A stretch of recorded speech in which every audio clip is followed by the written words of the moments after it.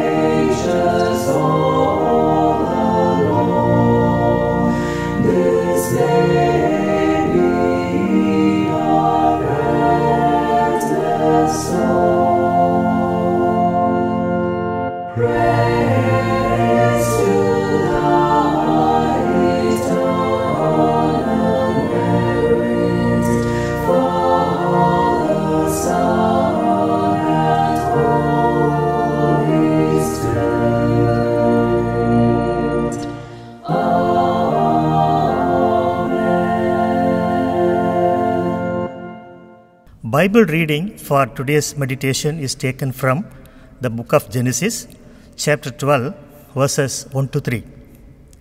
Now the Lord had said to Abraham, Get out of your country, from your family, and from your father's house to a land that I will show you. I will make you a great nation. I will bless you and make your name great, and you shall be a blessing. I will bless those who bless you, and I will curse him who curses you. And in you all the families of earth shall be blessed. Scripture is one of the powerful source in the journey of our faith because it inspires every individual to activate God's calling in our own context. And today, as we have listened a reading from the book of Genesis centered on character Abraham, I urge all of us to meditate on three major titles. Number one is calling, calling to obey. First of all, we must understand why God called Abraham. Abraham was already in a very good social life with sufficient economic needs. He lived with his father in a place called Ur, but he called Abraham to come out of the old life. God called Abraham to create a new order of life, what God desired. Abraham was in comfort zone and God called him to leave the same. Abraham immediately responded and obeyed God because he felt God's calling is greater than anything else. God's calling should not be understood to execute our desires, rather, the desires of God. And the only desire of God would be that all human beings should live in peace and harmony. But in reality, the very city of Ur automatically gives us a greater probability of a village and a poor life. God never wants somebody to be rich, many to be poor. He wants an equal sharing. That's why we call him Abba Father. For this, he has chosen Abraham to create God's new world of faith. This call was accepted by Abraham and uh, responded positively because he did not give much importance to the blessing but the giver of blessing. Today, God called you to study and to create a new social order. So, obey God's call. Number two is a change. Life is dynamic, not a static, and change is everyday phenomenon of human life. It's also an universal phenomenon. And God is a dynamic God. This was clearly understood by Abraham and gave himself for a call of change, leaving the city of Ur, father, culture, people, etc. But today, our educational institutions are established to change oneself for building a just society in our own context. And I like to point, we come here not to be static person, but to be a dynamic person. A static person always thinks of self emancipation, but a dynamic person puts himself for others to live corporate life in its fullness. God is an unchanging God, that God wants us change in every human being to discard the illness that affects the total human life. So be a change or respond to the call for change. Number three, challenge. I will bless you and you will be blessing. This was the promise of God to Abraham, and all of us wants the same promise in our life. I will bless you. Blessing in most of the time being misunderstood only in material life.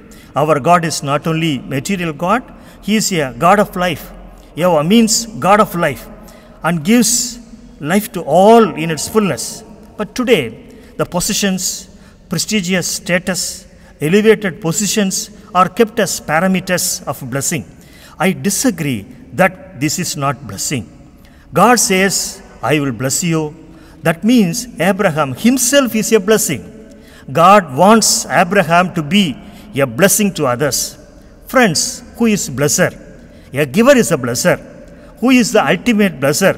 God is ultimate blesser because He is the ultimate giver.